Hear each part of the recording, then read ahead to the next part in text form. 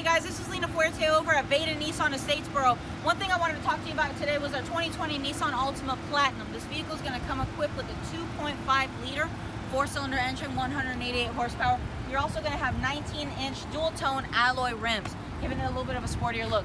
Now this vehicle does come equipped with Pro Pilot Assist. Let me show you how to use it real quick. So when you're driving down the interstate, all you got to do is press this button right here and actually all of your safety features are to pop up on and the vehicle will actually drive itself as long as you got your hands on the wheel. Isn't that neat?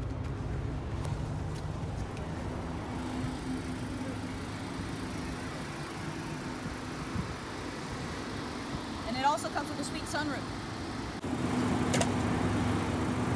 Come see us today.